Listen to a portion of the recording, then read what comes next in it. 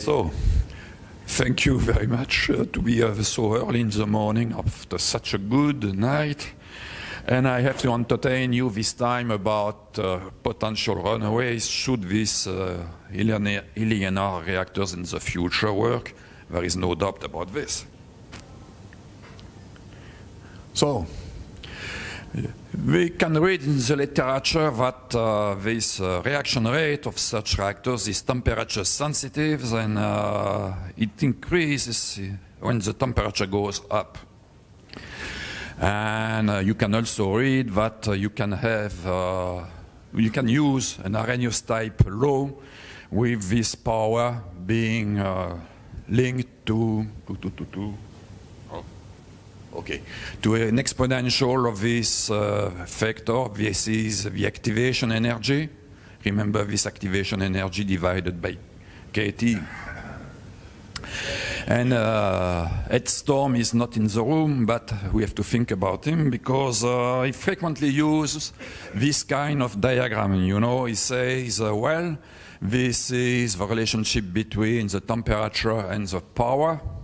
And if you are in this region like Rossi, it works, but if you are too high, you get uh, runaway. And uh, these two lines are what he calls the thermal barriers. If you have a large thermal barriers, you know, you need a very high temperature to get little power. And uh, if you have a small thermal barrier, you get a high power for the same temperature difference.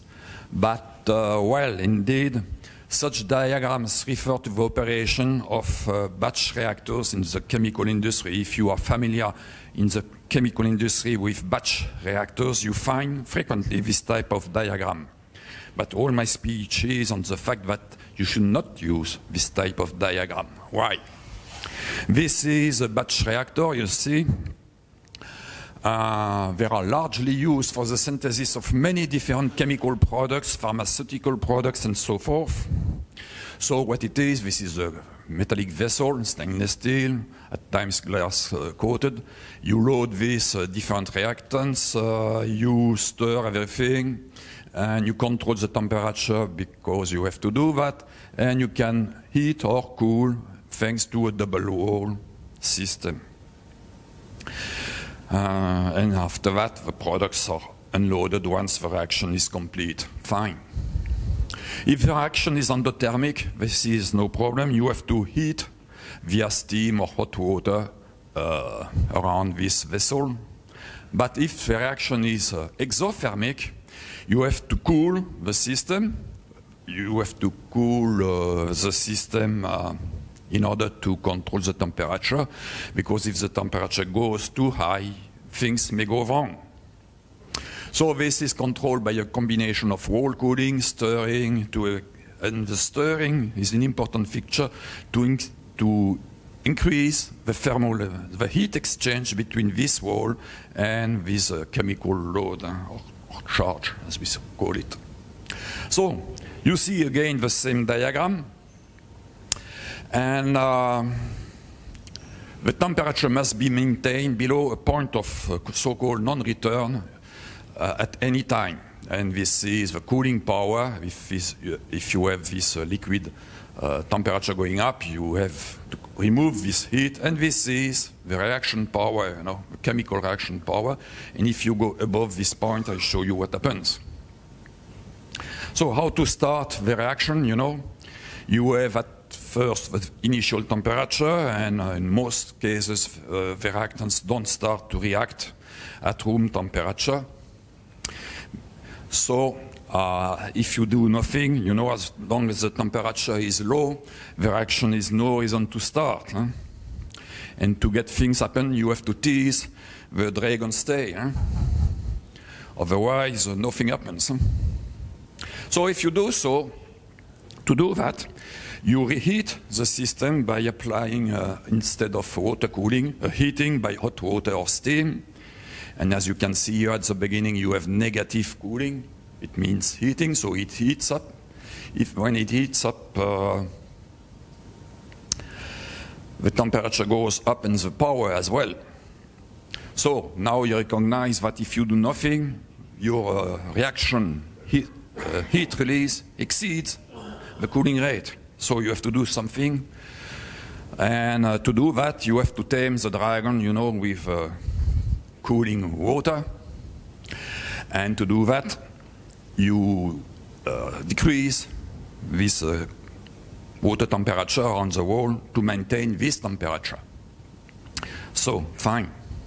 Now you have this uh, so-called operating point, but I draw your attention as well on the fact that the water you use is cold.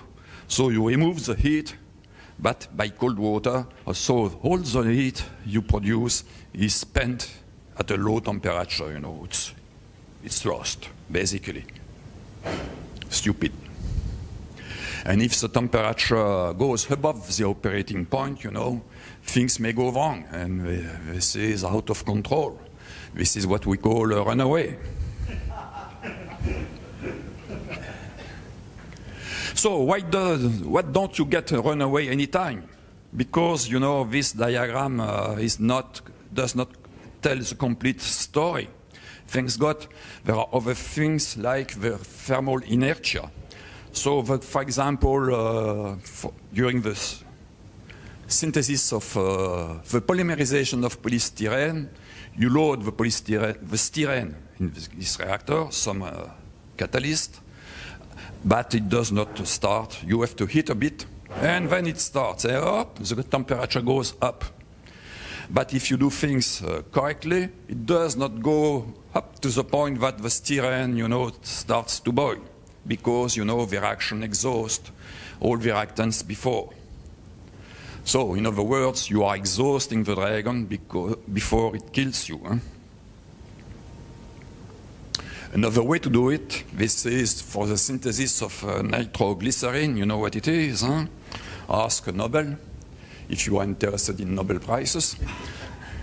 so, acid is uh, added slowly to the charge, and uh, the reaction starts above 22 degrees C but by law, at least in France, you have to maintain the temperature below 30 degrees because you never know. Hmm? So you add uh, this acid progressively. In other words, you are feeding the dragon uh, slowly. But this is not the only way to do it, and there are other ways to, to control the thermal power. And what I am saying here is that it's much better to use a very high heat exchange coefficient like this. In this case, you have a high uh, uh, heat power for a low delta T between this uh, reactant uh, load and the cooling fluid.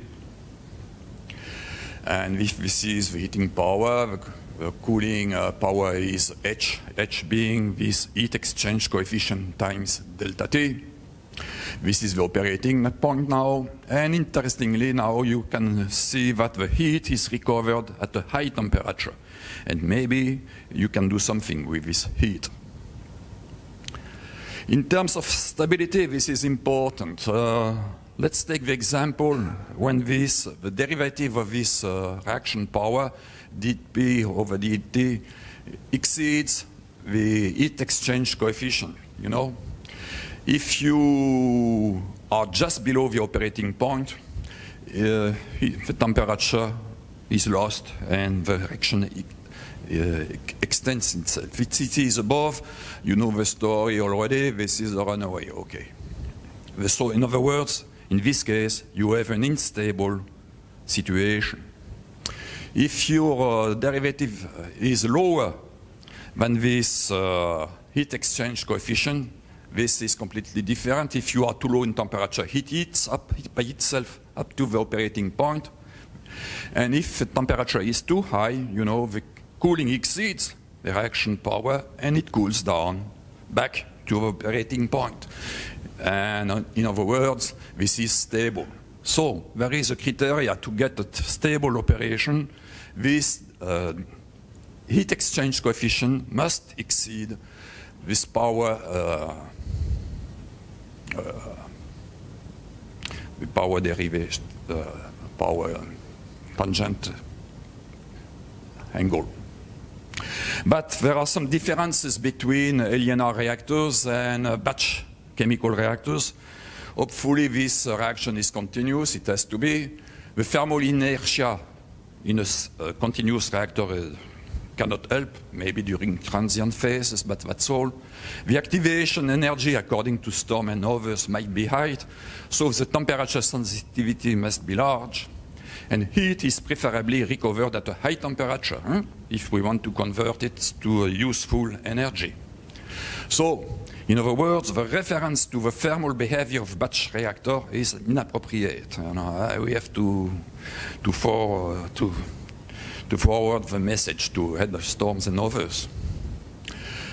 Continuous reactors, if we go back to the chemical industry, they are well known for, uh, for example, the synthesis of Fischer-Tropsch process, but there are many, many, many. But anyway, in such reactors, uh, to make a long story short, you take a CO with uh, hydrogen of uh, the conventional uh, catalyst and you get alkanes and H2O. It's quite exothermic, this reaction. And you get a blend of hydrocarbons going from methane to gasoline, distillate, waxes, you know. And this uh, proportion depends on the catalyst, but also on the temperature. The higher the temperature, the shorter this uh, carbon chain. And you, want, you prefer probably gasoline or diesel uh, fuel instead of uh, methane or uh, propane. So we have to control the temperature. And, uh, okay, this is what I said. How is it done, for example, in a multi-tube reactor?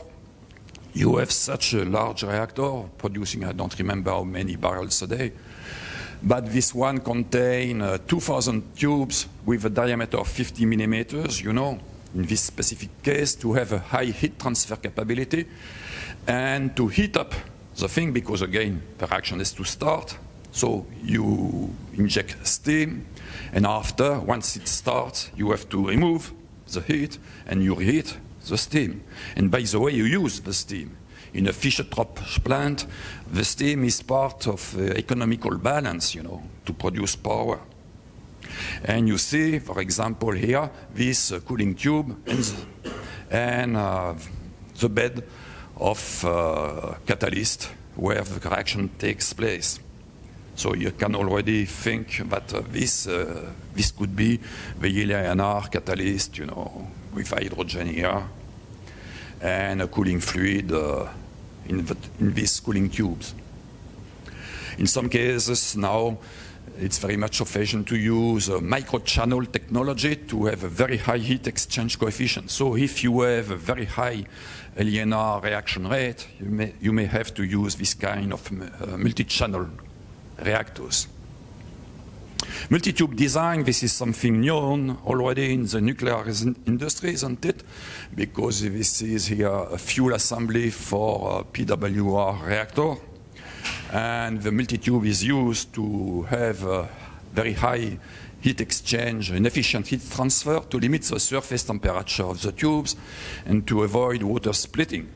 If you want to know why, please refer to my presentation Tuesday afternoon.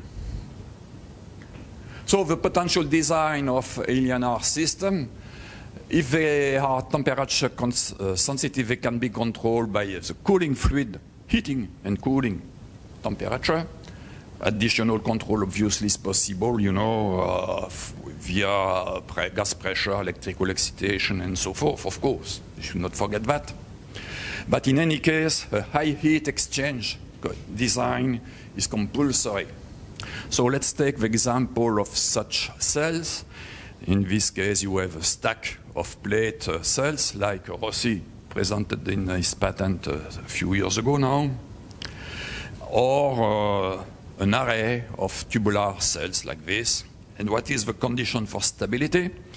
If this uh, specific power in this plate or in this tube is uh, W, where the activation is energy is E, and the heat exchange coefficient between the surface and the cooling fluid is H, then with this table, if H exceeds this uh, criteria, you know, heat divided by K T square, T being in this case the half thickness of the plate, or R being obviously the radius of this cylindrical cell. In other words, it is possible for engineers to design stable reactors provided you tell them what is your specific power and the required operating temperature. So it could be something like this with, with, a liquid flow, you know, you have just your liquid flowing between the cells. If this is uh, so high in temperature that you cannot think about uh, water cooling, contrary to nuclear power plants, for example, you have to rely on gas cooling uh, in uh, gas turbines or uh, aviation engines. We know how to manage gas, uh, gas flow to have uniform temperature. Last part of my speech is to how, how to improve the COP. You know, I heard so many times that the COP is low, 1.1, 1.2. Oh, it's not very efficient. It's a shame. But I don't think so. Because you are all of us talking about small reactors, and small reactors have high, uh, low volume to surface ratio and it gives you high heat losses, you know. And look at this poor animal, uh, is cooling down in this uh, uh, demanding climate. So when there is a blizzard, you know, and a very cold wind blowing at incredible speed, they flock together to to stay one uh, all uh, body to body to avoid high heat losses. So if, in other words, if you have a COP of 1.1, 1.2 with just the tubular cells like this, don't be afraid. I know how to make a very high COP with your, with exactly the same reactor. You just have to make an array of many, a cluster of many cells uh, together to decrease the heat losses, you know. So please uh, don't refer anymore to this kind of diagram because they are not relevant for our problem. And I thank you for your attention. A thermal equilibrium situation when the uh, uh, Arrhenius law exists. Okay? But uh, if we have non-equilibrium situation in a LENR uh, uh, process, for example, with a plasma uh, stimulation, it's non-equilibrium. Absolutely. And how change your results Absolutely. in this case? In this case, the engineer can nothing for you. Sorry. Correct.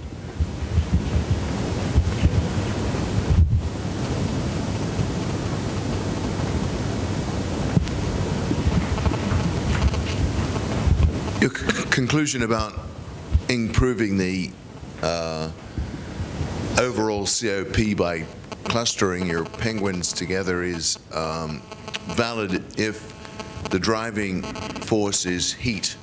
But if, if the driving force is electricity or something more precious, then you can't help us, um, at least not by this method. If it, is, if it is the pressure, I have, I have no difficulty to imagine a pressurized vessel here. And now if it is electricity, I have no difficulty putting an electrical wiring uh, to energize each of these cells. Now this is valid only if the temperature is an important factor. If the temperature is not, uh, okay, this, is, this speech is useless. But if the temperature is important, well, you, you will have to control these uh, heat losses. And by the way, here, look, there, is, there are electrical heaters.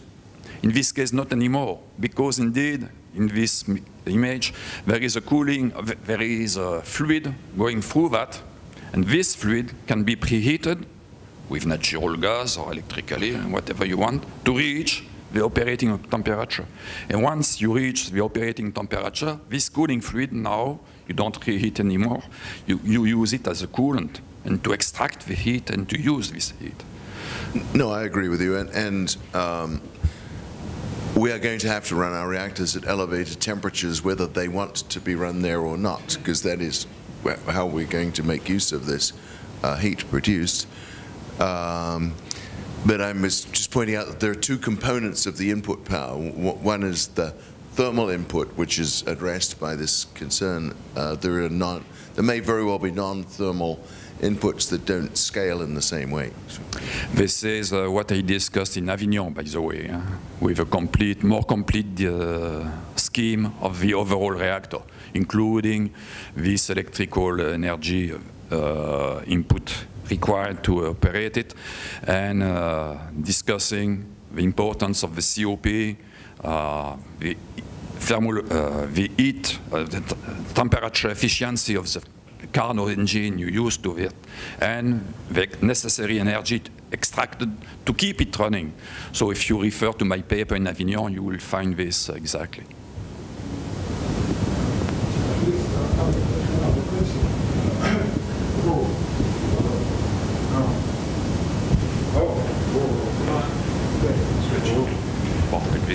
Thank you.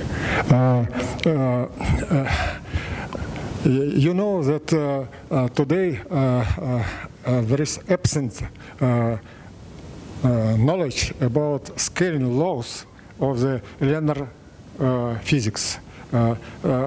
So um, you have a cluster of the this tube, but uh, uh, scaling uh, of a single tube and uh, many tubes may be uh, absolutely different COP because of uh, active particles for the LENR process is many, in this case, and the single tube, absolutely different number. Yeah, yeah, yeah, no, I disagree completely on that. If you give me one cell, like a Nissan cell, by the way, producing some power at a given temperature, I know, as an engineer, how to take hundreds of these similar cells. This is not a ca- scaling problem in, in the size of the cell. I'm scaling by multiplying the number of identical cells. You know, In this case, uh, this is no You know, the, the, the uh, fire from the uh, uh, uh, small fire and large fire, that's absolutely different uh, This is why I physical process. This is why I would re- be reluctant to increase the diameter of one cell. Exactly because of that. Exothermical reaction depends on the radical and active particles. Yes, yes, yes. uh, losses of these particles absolutely different. The uh, uh, large region, uh, uh, uh, reaction re- region, and small reaction, lost absolutely different. I agree. This is again the reason why I tell you if you give me one cell, I don't want to change anything in this particular cell. If it works, I keep it as it is. I don't want to change that anything in it. I keep it the same. I just put 10 or 100 of 1,000 together. But each of them will behave exactly as if they were individual cells, not more. Now, if you increase the size of the cell, we have to go back to the process conditions and to study again what, what happens if you change this, uh, the size, for example, or the gas pressure, or the size of the particles, or whatever you want. But uh, the engineer, uh, you know, I was in an engineering company and I, I, I made many different plants in my lifetime, going from urea producing plant to uh, whatever you want, uh, including steel making plants and so forth. And we never knew all the processes from the clients. But the clients had to tell us the process book stating if you do this, like this, and like that, it works like this. Now, okay, fine, with that, this is pure engineering. Now, if you change the size of the cell, well, this is not more engineering. You have to go back to the process. You, you, you did the calculation for a runaway. What about in the case where you are um, a Gaussian, Gaussian type of curve and not an exponential curve? Where will be the operating point then? But uh,